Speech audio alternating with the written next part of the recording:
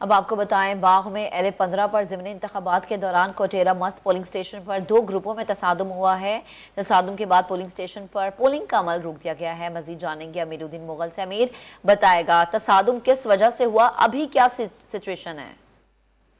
जी, बिल्कुल पोलिंग के दौरान जो है, एक शनाख्ती कार्ड जो है बंदे के पास नहीं था। वो फ़ोटो स्टेट थी जिसकी वजह से ये तसादम अखलाफ की वजह बना और इसके बाद खूब लातों मौकों की एक दूसरे पर बारिश हुई, लेकिन कुछ देर जो है यहाँ पर पोलिंग का अमल रोक दिया गया था, जिसको दोबारा से अब इंतजामिया का कहना है कि पुलिस मौके पर पहुँची है और शुरू कर दिया गया है। और इसी तरह एक और पोलिंग स्टेशन पर भी कुछ देर के लिए पोलिंग रुक गई थी, क्योंकि इल्ज़ाम था कि यहाँ पर अमले के लोग जो है वो धांधली कर रहे हैं। जिसके बाद अमले को तब्दील किया गया और पोलिंग दोबारा शुरू हो गया। मजमू तौर पर पूरे हल्के में पोलिंग पुरमन जारी है इस वक्त। जी। ठीक है, आपका बेहद शुक्रिया।